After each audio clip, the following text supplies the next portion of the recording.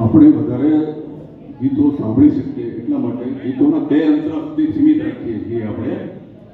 लता मंगेशकर ने सांभ्या मोहम्मद रफी जी ने सांभ्या हम आप बने सांभसू दिल से जब प्यार किसी से होता है और संकट है शुरू संगीत है सौ साल पहले